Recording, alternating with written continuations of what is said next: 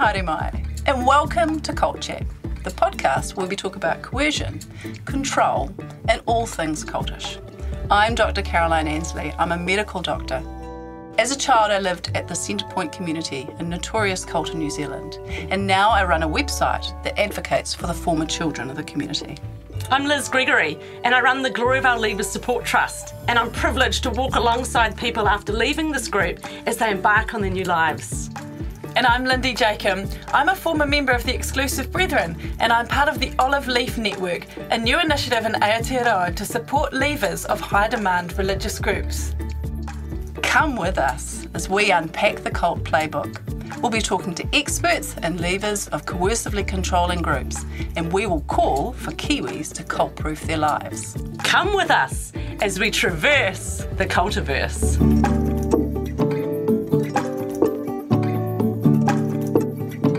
A warning this podcast contains references to subjects and discussions which may be difficult for some people to hear. Please take care of yourselves and your whānau when listening.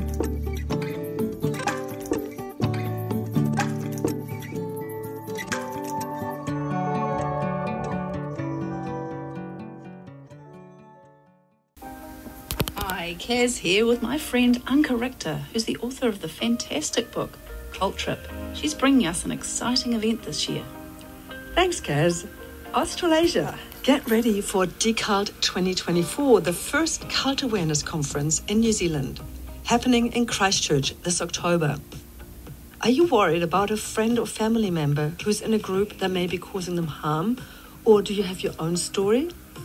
Then join us for a weekend with experts from around the world where those who've left cultic groups can share their experiences and meet professionals who can help them. Head to our website decult.net for all the info. Come cult proof your life at Decult 2024. I'll be there. Ah, hello. Today it's just me from the Cult Chat team. Liz and Lindy are taking a break from recording this week because right now it's really crazy for both of them. There's still three of us today, though. I'm chatting with two friends of mine, Nat and Anke. Kia ora, both of you lovely ladies. Kia ora. Oh, kia ora, Caz and Nat.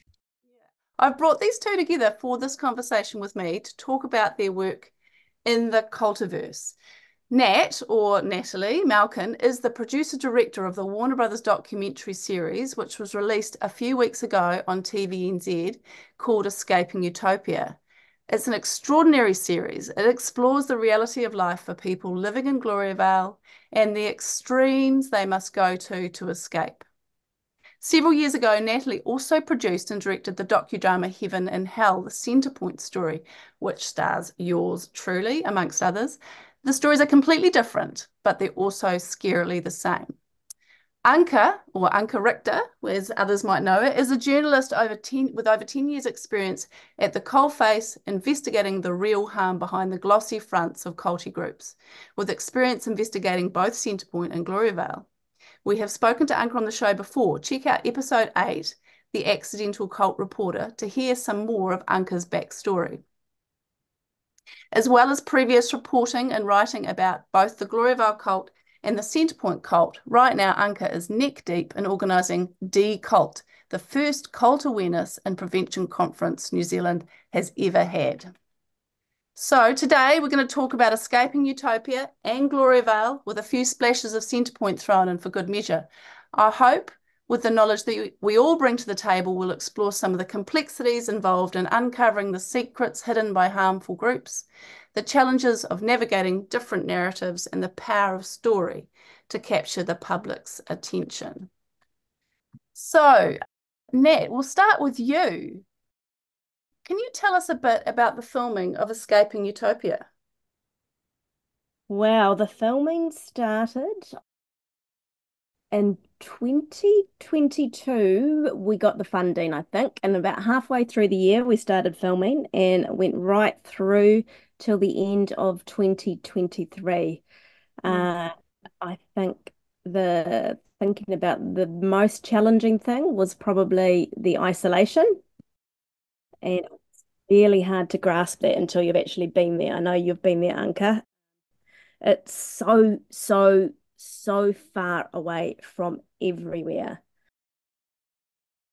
The first time I went there was a black, black, black night. I hadn't been there during the day, so I had absolutely no bearings. And I was with my researcher. There's no street lights or anything, you know, you're on a gravel road and there's no mm. cell phone reception around there. And it's just eerily quiet. And she was she got really paranoid. So as we were driving along, every time we went past a farmhouse, she'd say, House, house. because she was so scared that we were going to get a puncture or um, or break down, and you know, with no cell phone reception in this sort of you know very very dark part of the planet.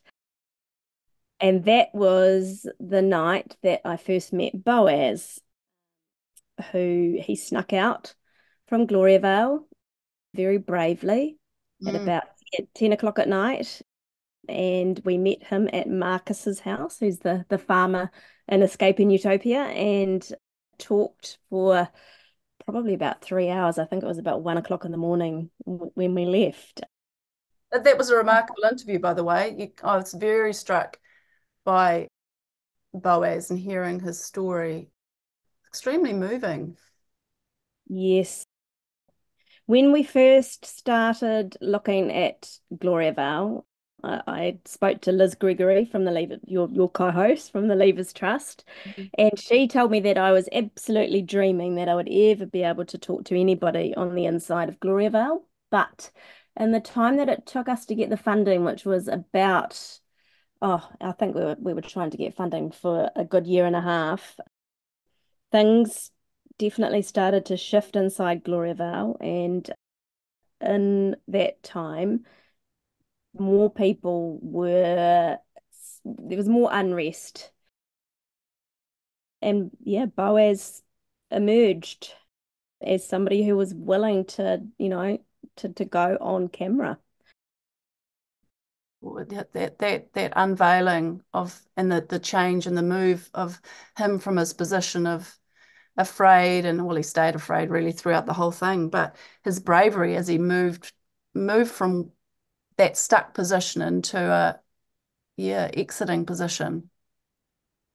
It's remarkable. Yeah. Oh, I mean, he he was he was so brave. He really did, you know, put his head on the line to to speak out. And you know, if he hadn't have left the community, would we have been able to tell that story? You know, we would have had to really look at that you know, because we didn't want to put anybody in danger, obviously. But, you know, thankfully, thankfully he, Tabitha, his wife, eventually got the courage to leave. So we were there sort of for that journey. I do yeah. wonder how much the involvement with you actually was part of that process for him of um, having those conversations on the outside. Well, yeah, I potentially that's it. I, I've never actually really thought about that, but yes, potentially, I guess the the more sort of exposure to other people, and it, obviously, it's not just me; it's my crew, and I, you know, I had an amazing crew of, you know, really uh, uh, caring, kind people. So I guess the more caring, kind people, yeah, and and there's also something about telling your story to another person. I have to say, I've seen this over and over again how confronting hearing your own narrative that you tell yourself. So it's not, not someone's not telling, imposing on you something else, but you're telling your own narrative in your own words to an interested person who just receives it. It's actually, it's extraordinary all by itself. Can I just tell you um, a little anecdote? Anecdote about Boaz after he viewed series. He said afterwards, he said, it's just seeing my name up on the screen, Boaz Benjamin, and then you the way you keyed my aunt, Boaz's aunt, and and then my grandfather, Boaz's grandfather. I I I suddenly just realized that I am a person.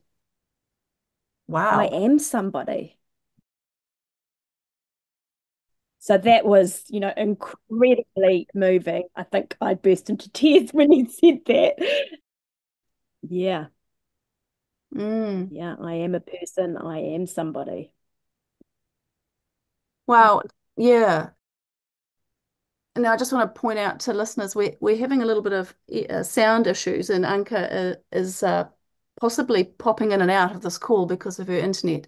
So if she if she cuts out or disappears anywhere along the way, I'm not even sure if you're still there right now. Anke, are you with us still? Oh yeah, absolutely. Oh, I've been listening. Oh, You've been listening. Good. Make a few noises every so often so we know you haven't vanished. sure. I'm dominating. I'm dominating Anke. That's good. Usually, I'm, I'm the one to cut in and take over. So now, Natalie, you did you did you deserve to be dominating this conversation because you've done incredible work. Can I just say, as someone who really um, understands the landscape that you worked in, because we've been circling the same drain for for many years, right? We we worked together. I helped you a bit for the um, Heaven and Hell um, Centrepoint doco, and I've I've I've I know so many of the people in your documentary now, and I would be the first person to uh, to be critical and go ah she missed this or she doesn't know that or you know i'm not too i'm not so easy to be impressed by cult docos to be honest because sometimes i feel i've i've seen it all and i know too much. You have done an amazing you've done amazing work and i cannot thank you enough for what you've done and and the nuance and the the, the survivor focus the the shocking parts, the heart rending stories, but also the yeah the just the psychology of it all and and following someone like Boaz and how how he's leaving and actually do for people to get up close get a feel for how conflicting it all is that it, it isn't just just joy because someone's out and then life is fine because they're finally out of the evil cult. It's so much more so much more complex. And i think you've you've captured that really well. So thank you. Thank you Anke. That means a lot from you.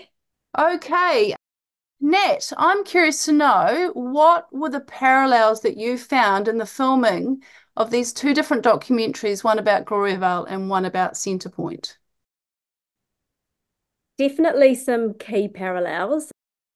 I think for listeners who are not familiar with the Centrepoint story, it was founded in the late 1970s, early 80s in Albany, just north of Auckland and it had a leader by the name of Bert Potter. I think at its height, it had about 300 members. So even at its capacity, still half the size the Gloriavale community is today. And it was based on therapy. So it called itself a therapeutic community. And the people there spent a large chunk of their time partaking in various group therapy sessions, with one of the main focuses being sexuality and breaking down boundaries around sex. So there was lots of very public sex and nudity. And when people joined Centrepoint, they did so with the knowledge that that was what they were joining, which is, you know, very different from the community that the people that joined Gloriavale joined. So, in contrast, Gloriavale began a decade earlier. Its founder's name was Neville Cooper, and he was a traveling evangelist from Australia. And the reason most of the early members joined this group was, for the most part, they were devout Christians and they joined because they thought it was some sort of utopian socialist society. They shared all their possessions, everyone was equal, and they were out there, you know, wanting to do good in the in the world and in the community. So both of them, the, the, the parallel is they were both founded on a premise that they share all their belongings, which is where I think they both started to go off track as well. So they started stripping back their identities and their lives before. So it mm. started with the clothing. And Centrepoint, they they shared a wardrobe. So basically a shared wardrobe, first in, best dressed. You know, uh, it was whoever got there first, got to got the pick of the outfit. But everyone, no one was allowed their own clothes. And in Gloria Gloriavale, of course, as we know, they um they have a uniform. Mm, it's an interesting that you noticed that actually. Yeah. And and they that that was sort of the beginning, I guess, of sort of, you know, making themselves different, different from the outside world. Cutting them off was what followed. So so first of all, they sort of stripped them back, losing their identities, their individuality. And then both Bert and Neville started to instruct them to, you know, limit the, the contact with the outside world and stop contact with their families. And they both started talking about the outside world. So that concept that the outside mm. was inferior to the inside, you know, the inside, they're the knowing ones. They know better than society. The laws don't need to apply, you know, they've got superior, they're superior knowledge. They're the enlightened ones. Yeah, they both, that's where they sort of start veering off from their initial dream, you know, as their as the leaders sort of gain their power. It, it's like they they also gained the I don't know the the more the more control they got, they got the more they wanted. Yes. And unfortunately, the other thing that the two leaders had in common is that they both, you know, as they got more power, they started indulging in some pretty sick sexual abuse. And both of them were convicted of sexual offences both of them actually were both in prison at the same time in the 1990s, one in the North Island and one in the South Island. And then um, when they both came out, they returned to that community where their victims were. Yes, but the difference is, of course, that that hopeful or Neville, who became hopeful, he he only served 11 months of his five year sentence. So he was back really quickly. Whereas I think Bert, Anke, you probably can correct me if I'm wrong. I think he was in prison for about nine years. So, you know, oh, by the time he came out, the, the community had moved on. Yeah. Your thoughts, Anke? Yeah, that's a that's that's that's a good point. Um, that the community in Albany was definitely changing when Bert was in prison, and then that that did also make people leave. I don't know if that was the case in Gloriavale because in Gloriavale they could always uphold this narrative that that the convictions weren't rightful. He was just convicted because he spread the gospel. Mm. In fact, there are still people today in Gloriavale who do not actually know, let alone believe, or do not actually know that his convictions his convictions were for sexual abuse. Yeah. So that's that's an interesting one. Yeah. Yeah. And also in uh, in Centrepoint, there were these other convictions. Uh, more people were went to prison, and also the um, drug manufacturing that they did there on the premises, and that they they took these psychedelics together with with teenagers was a bit of a different thing. Yeah, I can I can add more too, but but go on that. It's it's really great to hear your analysis. Well, the other thing that I that I realize that they have in common, the two leaders, I'm just focusing on the leaders at the moment, is they were both salesmen before they they became cult leaders. they both, I think, Hopeful was a sewing machine salesman, and Bert sold vacuum cleaners. I think is that right? But yeah, um, yeah absolutely. And he was also pest. Con- he had a massive pest control company that actually was all over New Zealand. Yes, that's right. So, I mean, that's fascinating in itself, isn't it? I think they were both door to door salesmen. Yeah, I think um, it's fair to say they were both um, very good at hooking people, selling something to them, finding their flock, and then taking taking those people under false pretense in a totally wrong direction. I think they absolutely had that in common. Yes, they moved on to selling ideas, right? Yeah, yeah. And they were also the other thing that is that they had in common is that they were significantly older than the people they recruited. They were both born in, I think they were both born in 1925 or 1926. They're both born the same year. and I think uh, Neville was in his 40s when he started gathering people for his community, and Bert, he was, I think he was in his 50s. And that reminds me of David Berg, the leader of the Children of God. He also was a generation older than his followers, and they used to call him dad or father, and the, ch- the their children called him grandpa. So there's something in this. Mm, I mean, there is something alarming, isn't there, about mm. people older than their the people that they're mm. hanging out with. You know, it's always a red flag, isn't it? Yeah, mentor or fatherly figure. Okay, so Anke, you must have got some thoughts on this, the parallels that you found in your research. Yeah, the most surprising parallel was for me, um, who done quite a few years of research into Centrepoint. At the time, I wasn't aware of Gloriavale at all, to be honest, until someone actually from Centrepoint, Barry Leslie, made me aware of them.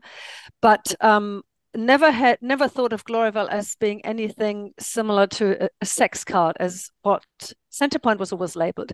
But these parallels are actually there, and it starts with the the shared living quarters, the bedrooms of families together with parents watching them being being there when they were having sex and also within the communities not just a Centrepoint but also in the early days at um, there being such a quite quite an emphasis or almost like a an unconditioning or rewiring of the members to embrace sex in a different way and be really natural about it, to practice it together in Gloriavale in, in under the sort of pretense of marriage education or marriage counseling. And that was shown in the doco in, in a in a tasteful way, just to get an idea of what they did there, because that's certainly not something that came that really came out or that Gloria was known for. But the normalization or just sort of I mean, I would now say probably for the gratification of of the leaders of the community to basically introduce something that would then also make it easier for them to have access to to younger people and to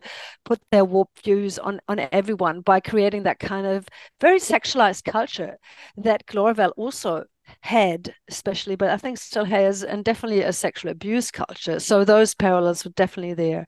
And then with the uh, the breakdown of the family unit. I think it's also true for both groups, where the parents are not so much in charge anymore, where in where the kids in Centrepoint just ran free as a pack. The teenagers, there was no supervision. They were awful levels of of neglect of children feeling totally lost not seeing their their parents for days or so having guardians who weren't actually protecting them or looking after them.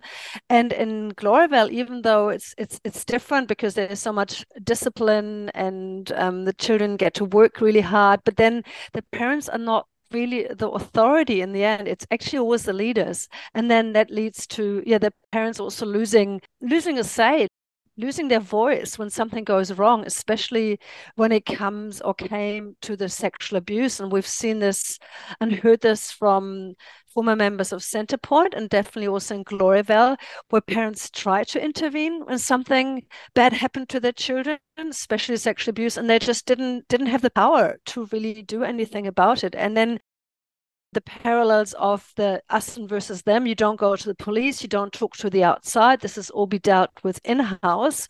We know what's best. Then that leads to these similar, similar toxic, abusive, cultic, oppressive dynamics. Mm, those are fantastic parallels. This is such an interesting conversation to tie these two groups together because ultimately what what I care about here is that this media expose that we're currently going through around Gloriavale, which I believe will settle down and people will forget, when we pull Centrepoint into this, we remember that this is, while it is about Gloriavale, it's also about culty groups that spread and grow. And when Gloriavale stops being in the public eye, maybe there'll be another group that grows up, or it's certainly Gloriavale will continue to cause harm unless something significant changes what's happening with them. But these these are great, great um, answers, guys. Anke, you interviewed somebody who had been in both communities. Did I? Yes, I remember you sent Hang me on. you sent me a mystery box full of research notes when I when we were working on Centrepoint, and you did interview somebody who was, I think he was doing a theology degree, and he had he was living in Centrepoint, but he was going down to Gloriavale, and uh, and coming back and reporting to Bert Potter on on what Hopeful Christian was up to.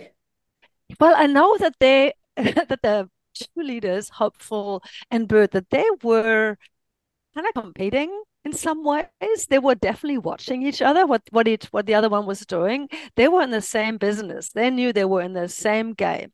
So isn't that fascinating where you where you think that they're at such different ends of the spectrum and yet they had so much in common. And I think what we really need to focus on here is the well-being of the children and how long that was ignored and how how often even authorities at least with centrepoint were in cahoots with the cult and you kind of wonder whether that's still happening or was happening for a long time in Gloriavale with the locals there with the former mayor of Greymouth who sat in the first row of the Gloriavale concert being very chummy with a convicted pedophile Hopeful Christian because Gloriavale is big business yeah, it is indeed. And we've talked a bit here now about the parallels. So I'm I'm actually also wondering, both of you, in your work in the cultiverse, running alongside, circling the same drain, have you noticed any differences, significant differences between the community that aren't just the obvious ideological doctrine ones? Because those are obvious differences. Nat, how about you? I guess that a big difference is, um, you know, in Centrepoint, people joined because they were seeking fulfillment and and happiness. And there were a lot of really damaged people that joined Centrepoint for therapy because they genuinely needed something because life their, their, their lives were, were not in, in great shape. Whereas in Gloriavale, joy or happiness is not actually the goal. And I think this has, you know, evolved as well. But you would have seen in the documentary, suffering for mm. Christ is a positive. So the more they suffer in this life, the more rewards they'll get in the next one. So it's not self-indulgent. it's um it's it's yeah, joy is not a good thing in Gloriavale and it's it's why they put up with such terrible conditions because actually if you're suffering for Christ you you it's seen as a positive well it's um, actually a great great um, doctrine for cult leader really because it's it, it puts the members in a perfect position to abuse them really doesn't it? Absolutely. Yeah. absolutely.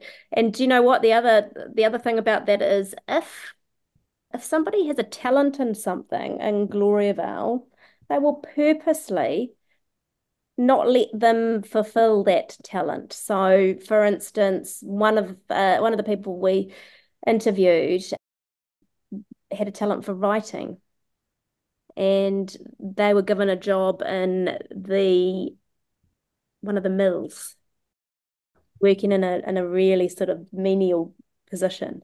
Another person we interviewed was, you know, definitely uh, more of a, an outdoor type person.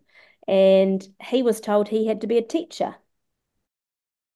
So it was like they purposefully tried to dissuade anybody from fulfilling any sort of passion or anything that, that they enjoyed doing. It's really interesting, huh? Because I think Centrepoint prided itself on fostering people's creativity, and they had all mm-hmm. these workshops. And I remember Angie, the the teenager from Centrepoint who I first met and who was the starting point for my book. She was sent off to drama school, and Centrepoint actually paid for them, so paid for that. So that's quite a difference. I'm I can add some more too, because I think the public perception is quite different and was quite different. That maybe there was always more suspicion on Centrepoint because they were seen as this free love community, maybe with a bit of a hippie feel to it. Whereas Gloriavale being being Christian, there's this assumption that Christians must be maybe Christians must be good people per se and and they will they will do the right thing even though it's very conservative and but there's this almost like the cover of religious freedom that Centrepoint didn't enjoy in the same way, even though they're classified as a religion and but Potter called himself God. And the other thing that I've seen on, especially watching your documentary, Natalie, and also with the interviews that I did back then for Centrepoint and the ones afterwards, that with Gloriavale, we have second so many second generation leavers, right? Most of the people inside Gloriavale have been born in there and are mm-hmm. now children. So you see many many more coming out who've never ever known another world mm-hmm. and the these invisible prison walls are so much bigger and the culture shock of and then being a refugee in your own country when you come out so that's a lot more extreme than what people experienced who left centrepoint who still had a lot to work through who lost so much who had these awful interpersonal um, situations in their families of repair work where you had perpetrators and victims in the same families. I guess that's true for Gloriavale too, by the way. But but the cultural divide is of course a lot bigger for Gloriavale than it was back then for Centrepoint leavers. Absolutely, we're in you know third and fourth generation of members in Gloriavale. So and that's so that's the biggest difference is Gloriavale is still going strong. So it's been allowed to flourish. You know, it's been it's been going for 50 years. And they don't actually need to brainwash people there because somebody, one of my contributors talked about them getting their factory settings created as babies. They're indoctrinated from birth. So that is the only world they have ever been exposed to. So when yeah. I hear people say leave them alone, they choose to live in Gloriavale. Sorry, yeah. no, not if you're born into it. That is a significant difference because there were baby, lots of babies born at Centrepoint, but not many. I think I don't know how many. I don't think there were any. Were there who were born? They couldn't have because it wasn't going for long enough born and stayed throughout and then became adults. If there were, there was a, a small number of people who genuinely had their whole life within that community and then entered adulthood. By the time they entered adulthood, because of the length of time it was running, it was 22 years, at, at best they would have been in the early 20s if there was such a person. So, as opposed to almost everyone at Gloriavale being in that second generation their whole life, no other life. And the other other key difference, of course, is in Centrepoint, the, the kids went to schools outside the community. Yeah. So they were exposed to, you know, uh, to the outside world a lot more yeah, and I, I was at that school, you know, the first school that they joined. So that was, you know, I've got some insight into what that was like. They definitely were were separated and they were different and they were they were treated like they were um, you know, a bit like lepers in in the school. So there was an automatic social divide that reminds me a bit of the Brethrens, the exclusive Brethrens, how initially when they had their own, uh, didn't have their own schooling, it was they were very socially divided. And social division is pretty powerful. I mean, you don't talk to people about what's going on, you don't share, you don't connect, you don't form deep relationships, but it's not anywhere like literally no connection, which is what happens at Gloria Gloriavale, no connection with the outside world. I want to throw in one more thing that Gloriavale, unlike Centrepoint, had fantastic propaganda, which we all watched a few hmm. years ago on TVNZ. And I know that Centrepoint, there was a documentary, a fly on the wall documentary in the early days made about them, and it probably brought a lot of people to Centrepoint as well. They were just curious about it.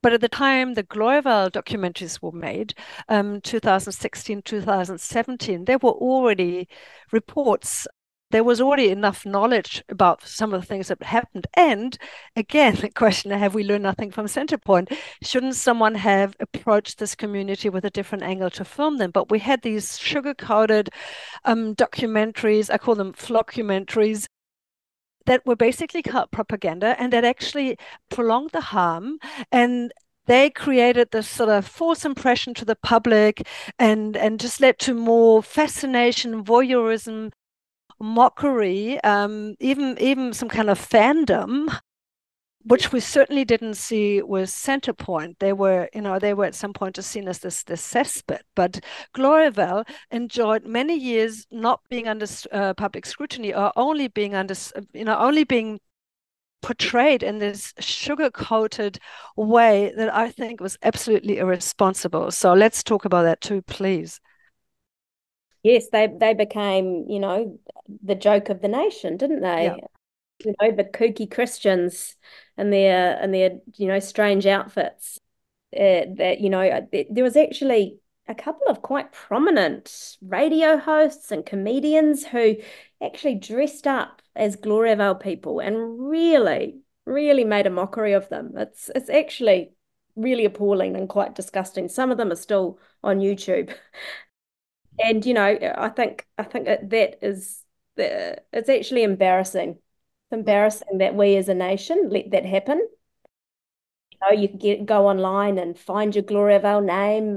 It, yeah, they really were the laughing stock, and we look down at them. I think that there are groups of people, as our society gets more and more inclusive, there are groups of people that slowly become no longer acceptable to other, no longer acceptable to mock and um, mm. make ridiculous joke of. And yeah. it used to be groups, it used to be disabled people, or it used to be people in the LGBTQ community. It used to be trans people, you know, and now I think it's still okay to mock and make a laughing stock of cult members and cult leavers. But I'm hoping our work will change that. That as mm. they become real people with with understandable decisions that they made, with under, understandable and, and and deep suffering that we we kind of get and we resonate with, it will no longer be acceptable to do what you've just described as being, you know, in the 2014, 15 when those documentaries came out. That's not that long ago. That everyone literally was joking about them. And and do you know what? One of the most um, common feedback I've heard since my documentaries have come out is that the, the they were surprised at how eloquent and mm. likable and kind and caring uh, the contributors are. You know what? Uh, one of their contributors was in the other one. It's just that this time they were allowed to be themselves. That was the Gloriavale version. That's Pearl That's I'm right. talking about. That was the Gloriavale version of her. Mm. And you know what? She is cool. She is feisty. She is funny. You know, uh, she's really good company. She is, you know, strong. She's mm. smart. All the things that she yeah. did not appear to be in those other documentaries because she wasn't allowed to be here. So it's busting open this idea that members of cults or former members of cults are stupid, naive, all these sort of really horrible stereotypes. Let's bust open another thing too. Why are we still doing business with cults? Why don't we boycott cults like we are boycotting countries you know, mm. that are involved in in war crimes or whatever. You know, why don't we have the same sanctions? Why don't we have the same awareness here in New Zealand? It's always bugged me that all these years that Gloriavale exists, especially those last years when people flocked to their concerts, and these concerts were a big show attraction here in the South Island. People even came from overseas because it was just such a fun thing to watch and probably a lot of voyeurism in there. But why do why do people go there and not have you know, why, why didn't we see people outside, women's groups, for instance, mm. political parties, activists protesting for women's rights and saying this this is a gulag. This is not this is not okay. These these people in here are suffering. Yes, you might say it wasn't always it wasn't there wasn't enough media back then. We didn't know this, but we've known, we since know. And I'm I'm still waiting for the the public outcry, especially for the rights of women and children in there. And I think there's been a bit of a, a a deafening silence as if this wasn't the cool thing to stick up for these people. And I think this is where what you just said, um, has comes in because these people are so easy to mock and shame and they're almost seen as well they chose this. It's kind of their fault. Why should we feel that sorry for them if they want to follow this this leader and live in that way and wear these stupid blue frocks right? So the compassion then then ends there and the voyeurism kicks in. And i think it's it's time that we stop doing business and financially supporting cults and that goes goes you know, for all levels with banks and with dairy companies and honey and you name it. Let's let's have lists where these where their products are listed and let's hit them hard where it hurts. It's where, where the money is. Well, and maybe stop paying them working for families. Yeah right. Yeah. or charitable i mean let's the, the obvious uh, questions also uh, charitable status. How mm. come they get tax breaks doing doing what they're doing it's just yeah. unfathomable to me. Yeah. Could I um could I make a little segue because I really want to talk about this before we run out of time. One of the one of the favorite things that I my favorite things about about escaping utopia was the the the revelation of all the work of Melanie Reid. That's her name, isn't it? The journalist in, mm-hmm. in 1993, and that was a fantastic, uh, humorous even but devastating as well mm. to discover that this strong woman in her what she was in her 20s wasn't she? When she did the work in 1993 yes i think she said she was 26 yes she went into gloriavale pretended that she was a gloriavale woman and started uh, undercover recording interviewed some um, leavers exposed a lot of the stuff that has come out in your documentary nat. And it's just it it just rams home the point that, well, two points. First, how quickly we forget. All that new information in 1993 is, was, was lost to us. And secondly, the extraordinary role of journalism and the media and how much journalism and the media were vilified by Centrepoint and continue it continues to be part of the narrative from older Centrepoint uh, people who were once members, that the harm has come from the media exposing mm. what happened at Centrepoint. And right now, I'm not thinking that the harm happening at Gloriavale is because of your documentary, Nat. I, am not saying that, but I can hear that story coming out later on. Mm. The harm actually is the media, not what happened at Gloriavale, mm. because that's the narrative of the Centrepoint people. These kids were harmed by the media expose, not by what happened at Centrepoint. Yeah, it's yeah. so interesting because I, I came up against this so much, you know, when I started my my big round of, of research about 10 years ago and the suspicion and the silencing and also the families that were shutting their kids you know by then adult kids down not to not to come and talk to me. And this narrative of oh well this happens what happened at Centrepoint happens everywhere.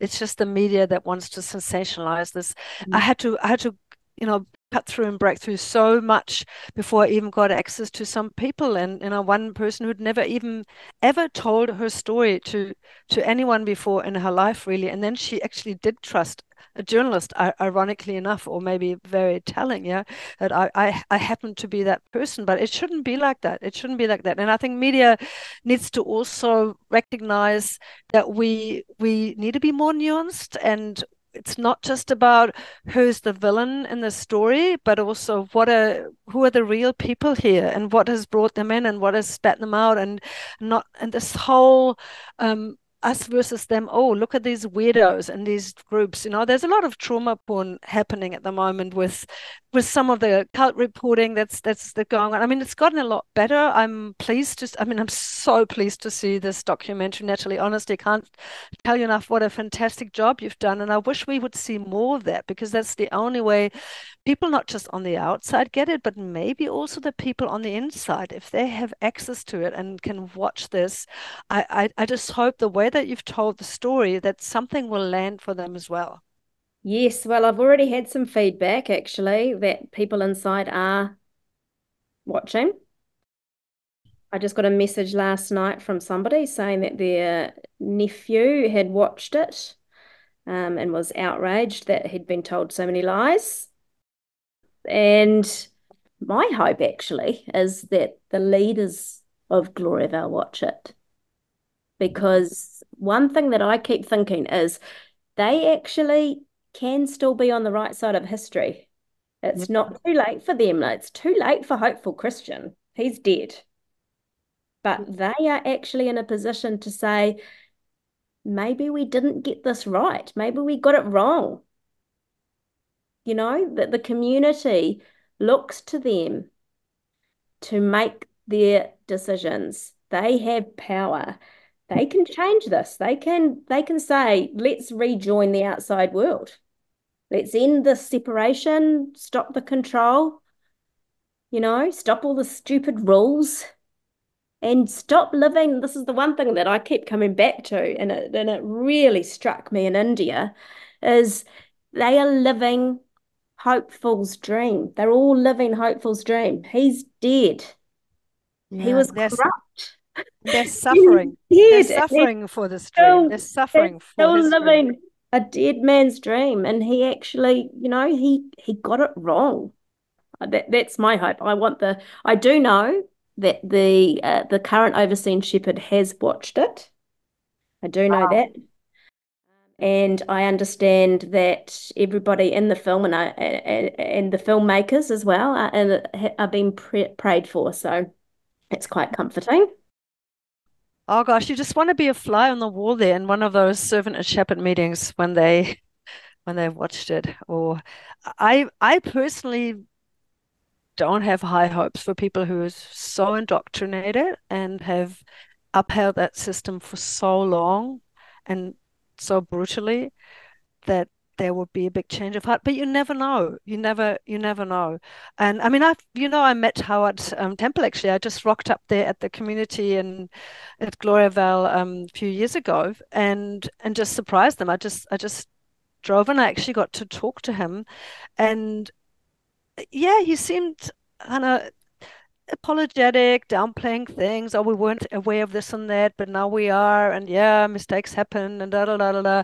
And then not that long afterwards, um, he was actually arrested as well for his sexual alleged sexual transgressions. And I mean, if we could we could film inside the brains of these people, we would learn a lot, right? Mm. You never know. I, I we did the same thing, Anke. We we drove up and met with Howard as well.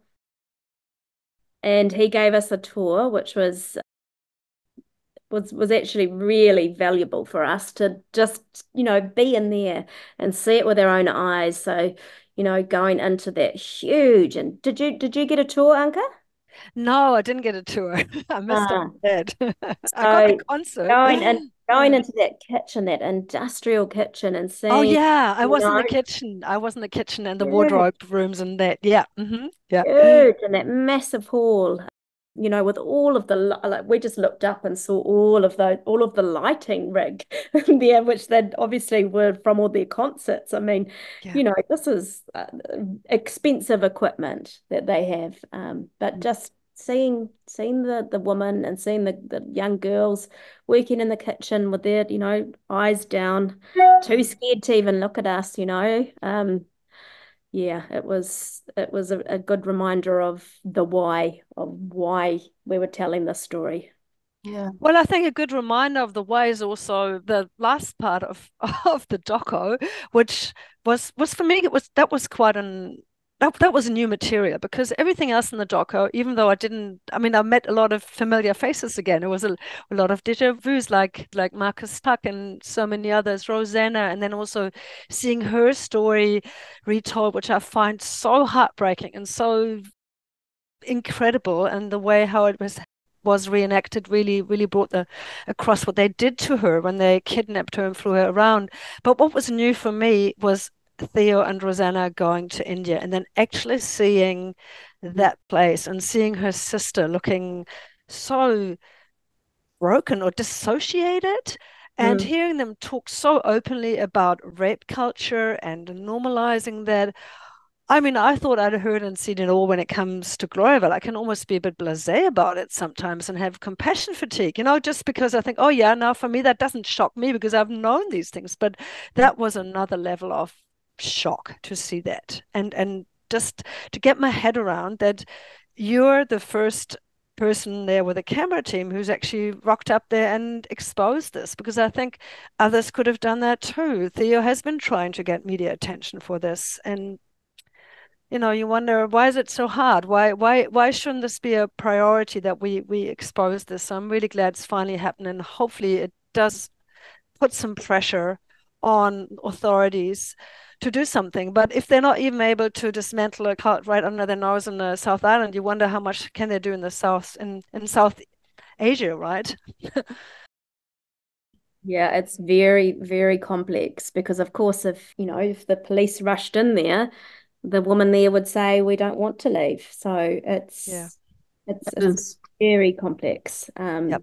that it, it was it was heartbreaking, and the contrast between Theo and Rosanna Mm. and the woman that they had grown up with was just, you know, it was so huge. There's there's two vibrant, confident women who've been out there in the world, and uh, you know, they're both very inspiring people to see see them with their sort of, you know, family and friends that they grew up with who have not had any freedom. Um, it was, yeah, quite a contrast.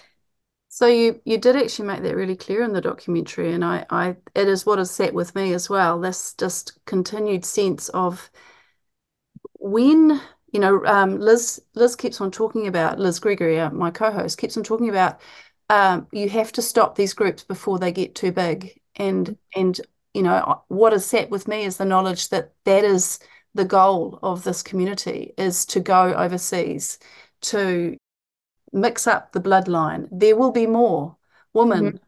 like Precious. And that is why it is so urgent that something is done now, because at the moment, the oldest children in that community, I think, are around 13 or 14. And it will not be long before the next generation is bred in that community. And once we get to that next generation, there's no rights, no rights under New Zealand law. At the moment, those children have got New Zealand born mothers, Yeah, which exactly. give them some rights. Yeah, yeah, yeah. But once you get to that next generation, um, there there are no rights. So it's really, really crucial that intervention happens now. Or, you know, Faithful said he his he had done some maths and he thought that in 10 years' time there was going to be 200 people in that community. Faithful is the son of Hopeful Christian. No, Faithful is the leader in uh in Yes, the Indian leader in India, Glory Yes. Yes, okay. There's a lot of names that I'm muddling yeah. I know it does get quite confusing. Yeah, it does. Okay, well, gosh. We have somehow managed to get to the end of our time, ladies. We've had a lot of complexity. I think we could go for We could keep going. We could keep going. And it, and I, I think that this conversation we've had is really quite unique because of our own connections Yeah. and yeah. And I thank you so much, Anke Annette, for joining me to talk about this topic. So, if you haven't already, please consider watching Escaping Utopia, the three episode um, documentary about Gloriavale that Nat has just spent a couple of years of her life filming and is on TVNZ on demand. Uh, can it be viewed by our international guests at all, Nat? Is there a plan for that? Uh, not as yet, but watch the space, hopefully. Watch the space. Okay, so looking forward to that. And also check out Decult. We didn't actually talk about that uh, at all during this interview, but we are talking about it repeatedly on Cult Chat. One of um, Anke's total drivers is to get a cult awareness conference here in New Zealand, and it's planned and it's happening in October here in Christchurch. You can go to decult.net and sign up to receive their newsletter, and you'll be the first to hear when tickets are available if you do that. And as well as Escaping Utopia, don't forget to listen up and watch Heaven and Hell, the Centrepoint story, which is also on TVNZ on demand. For international viewers, I I'm not sure if you can get it overseas other than on YouTube, which you can find on the Centrepoint Restoration Project site. I've got a li- link to the Heaven and Hell documentary on there where you can learn more about Centrepoint and the Centrepoint documentary that Nat rec- filmed. So we hope there's been something for you today in today's episode which might help you to cult proof your life. Please keep listening to more of the episodes of Cult Chat on Plains FM, Apple Podcasts, Spotify, or on our YouTube channel. Tell your friends about the show, share, leave a review on our Facebook page or on other social media. And thank you so much, ladies. Uh, it's been great having you. Bye bye. Thank you. Bye. bye. If anything in today's episode was difficult or upsetting for you and you would like to talk to somebody, we encourage our New Zealand listeners to free call or text 1737 for support from a trained counsellor. Or you might like to visit the resources section of the Olive Leaf Network website, where you can find a range of organisations and resources that might be able to support you.